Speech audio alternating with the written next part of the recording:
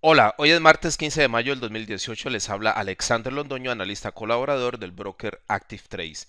Tenemos el gráfico diario de la libra frente al dólar. La paridad ha estado encajonada entre el 1.3500 y el 1.3600 como lo podemos apreciar sobre el gráfico diario. Esta consolidación ha formado lo que aparenta ser una bandera bajista. Se le llama bandera bajista no porque necesariamente el precio vaya a romper hacia abajo, sino porque la tendencia es bajista llegando a la formación. En realidad el precio podría salir en cualquier dirección. Hacia arriba la media móvil exponencial de 200 días junto con el 1.3700 podrían actuar como resistencia en esta zona. Por encima de este nivel la media móvil exponencial de 55 días también podría actuar como resistencia junto con el 1.3900. De romper hacia abajo por debajo del 1.3500 en el gráfico semanal vemos que ya su próximo soporte sería el 1.3200.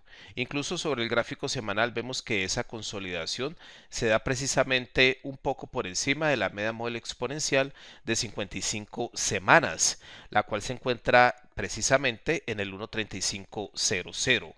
Es por eso que el precio ha encontrado una buena zona de soporte en esa área del 1.3500 debido a la combinación de ese número entero y la media móvil exponencial de 55 semanas que ya ha actuado como un buen soporte en el pasado como lo podemos apreciar sobre el gráfico semanal. En el gráfico mensual podemos apreciar el rebote bajista que tuvo la libra frente al dólar desde la zona de la media móvil exponencial de 55 meses y el 1.4400. Esa es la principal razón por la cual el precio ha rebotado hacia abajo, pero podría regresar al alza con esta tendencia alcista a corto plazo que tiene sobre el gráfico mensual.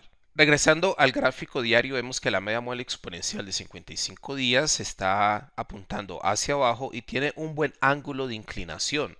Esto nos quiere decir de que la tendencia bajista se mantiene fuerte, por lo tanto, a pesar de la actual consolidación, es posible que el precio rompa desde aquí hacia abajo. Y claramente vemos que ya no hay más soportes importantes hasta el 1.3200. Para más información sobre cómo operar en la libra frente al dólar, los invitamos a visitar nuestro sitio web www.activetrace.com, donde aparte del forex o las divisas tenemos las criptomonedas, índices y bonos, materias primas, el mercado de acciones por medio de CFDs y ahora los ETFs que son Exchange Traded Funds, fondos negociados en bolsa que nos ayudan a diversificar nuestro portafolio y a crear estrategias de cobertura. Para más información, por favor visitar www.activetrace.com.